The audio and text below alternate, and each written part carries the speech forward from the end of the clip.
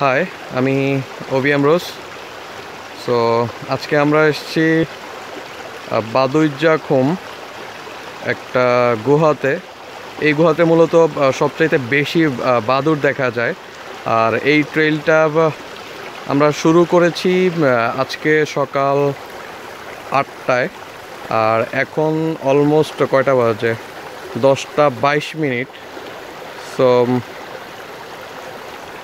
এখন পর্যন্ত আমরা ঠিক মাঝামাঝি পর্যায়েও যেতে পারিনি। আমাদের এই ট্যুরটার আজকে উদ্দেশ্য ছিল যে আমরা একদম শুরু থেকে শেষ পর্যন্ত মানে আসলে এই ঝর্নার উৎপত্তিটা কোত্থেকে হয়েছে, আমরা সেটা বের করব।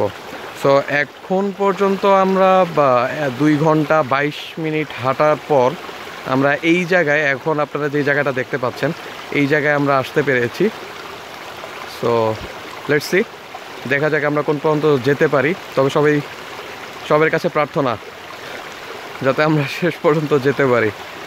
তো আপনারা ভিডিও দেখুন এবং সৌন্দর্যটা উপভোগ করুন এবং যদি আপনাদের কখনো সময় হয়, অবশ্যই বাদুজ্জা খুম এই ট্রেলে আসতে ভুলবেন না। বিশ্বাস করবেন বিশ্বাস করবেন না যে আপনি যদি আসেন, আপনার মনটা একদম ভরে যাবে, একদম ভরে যাবে।